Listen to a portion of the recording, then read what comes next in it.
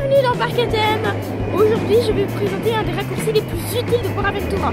Si vous êtes en Chine, tout près de Shambhala et de Dragon Khan, et que vous voulez vous rendre tout près de la zone Maya ou Western, suivez-moi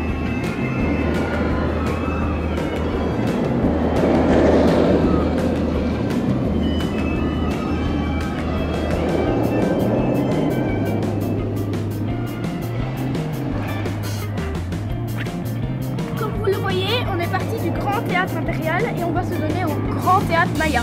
En fait, c'est le même théâtre sauf qu'il a deux entrées.